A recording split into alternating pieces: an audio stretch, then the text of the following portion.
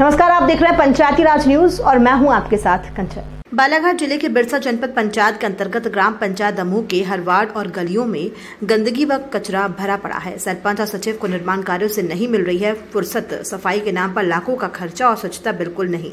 बिरसा जनपद पंचायत के अंतर्गत इकसठ पंचायतों में से सबसे बड़ी पंचायत दमोह है, जहाँ सबसे ज़्यादा राजस्व प्राप्ति होती है। साप्ताहिकी बैठकी बाज़ार, नलजल, वसूली भवन कर वसूली कमरों का किराया, कांजी हाउस का किराया, अन्य माध्यमों से लाखों रुपए का राजस्व पंचायत को प्राप्त होता है। ऊपर से शासन द्वारा चलाए जा रहे स्वच्छता अभियान के अंतर्गत भी लाखों रुपए खर्च किए जा रहे हैं। किंतु ग्राम दमोह में जहाँ देखो वहाँ गंदगी, कचरा ही कचरा नज़र आता है। ग्रामीणों के द्वारा बार बार प्रधान जी विष्णु मरकाम सचिव श्री सोनवाने जी से निवेदन किया जाता रहा है कि बैठकी बाज़ार की नीलामी की जाती है।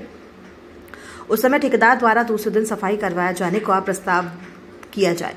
क्योंकि प्रत्येक सप्ताह गाँव में बहुत बड़ा बाज़ार लगता है, जहाँ लाखों लोग आते जाते हैं, जिनकी ना शौच जाने की व्यवस्था है, ना ही पेशाब घर है, ना पीने के पानी की व्यवस्था है। ऐसे में ग्राम में जहाँ जहाँ जगह मिली है, वहीं काम चला लेते हैं। क्योंकि प्रत्येक सप्ताह बहुत संख्या में लोग गाँव में आते हैं, जिनसे काफ़ी ज़्यादा गंदगी होती है। मांस, मटन, मुर्गी, मछली की दुकानें भी लगती हैं, जिनकी पूरी गंदगी दूसरे दिन पड़ी रहती है, जिससे सप्ताह भर गंदगी और बदबू बनी रहती है, जिससे बीमारी और पशुओं के बीमार होने की आशंका बनी रहती है।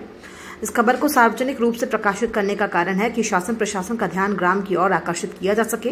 केवल कागजों में साफ़ सफ़ाई दिखती है। स्वच्छ भारत मिशन का सपना साकार केवल खाना पूर्ति से नहीं होगा, ऐसी बहुत सी पंचायतें हैं जहाँ स्वच्छता के ऊपर ध्यान नहीं दिया जा रहा है। अतः माननीय कलेक्टर महोदय, तहसीलदार महोदय जी से निवेदन है कि वो क्षेत्र का दौरा कर स्वच्छ भारत मिशन के सपने को साकार करने में सहयोग प्रदान करें, जिससे बड़ी बीमारियों और किसी भी प्रकार की गंदगी से बचा जा सके।